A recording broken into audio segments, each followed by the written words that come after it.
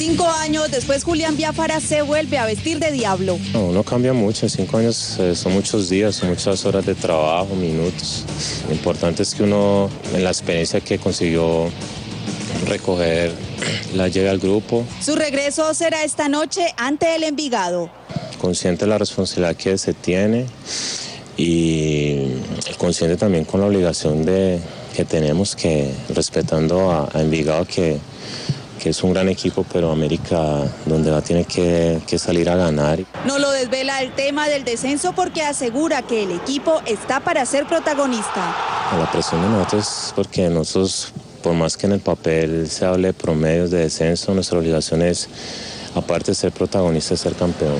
El último partido que jugó Biafara en Colombia fue en octubre de 2006 frente a Once Caldas, compromiso en el que América cayó 4 por 1.